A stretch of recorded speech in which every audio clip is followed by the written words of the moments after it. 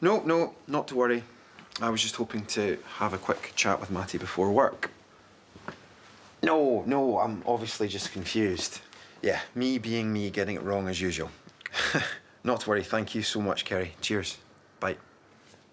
So, Kerry was under the impression that Amy was going to spend the night here with Matty.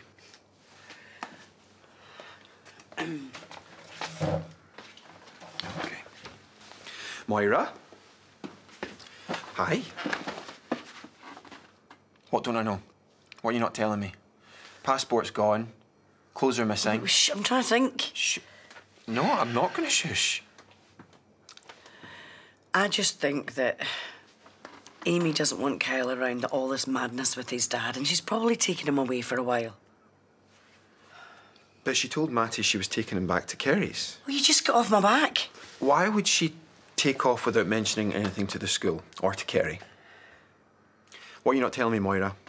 Because we both know that Amy's not the kind of person to pack a bag without warning you, Matty, or Kerry unless there was something else going on. And you're acting cagey. You've been acting very cagey for a while now. So spill. Cain wasn't the one who shot Al, okay? It was Kyle.